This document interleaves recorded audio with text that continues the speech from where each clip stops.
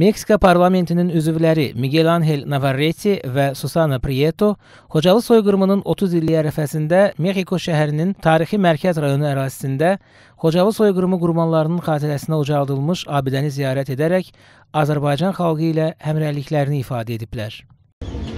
Quien no conoce su historia está condenado a repetirla.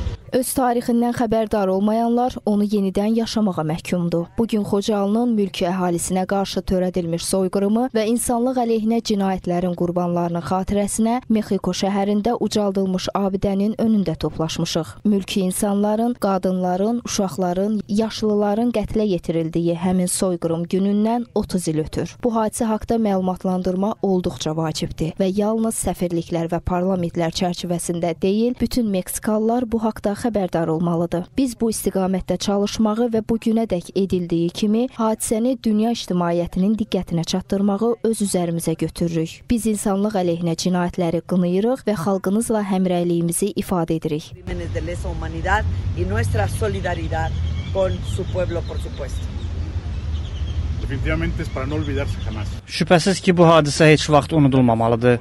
Şübhəsiz ki, biz Azərbaycan hökuməti ilə həmrəyik. Arzu edirik ki, Azərbaycanla dostluğumuz daim irəliləsin və inkişaf etsin. Azerbaiyán, muchísimas gracias.